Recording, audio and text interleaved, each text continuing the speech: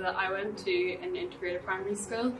Um, I then went on to an integrated high school in Crumlin, beside where I lived, Glenavy. Um, it was difficult because I wanted an integrated education, and that was difficult because, as you can see, there's not much of that in Northern Ireland, and there definitely should be. You know, I've gained a lot from integrated education. I think it's class that you can like learn so much else by the way others are educated and like the way other languages and other cultures are educated. Here in Northern Ireland, film and music and the arts are booming and we're doing really well, but still schools aren't taking it very seriously.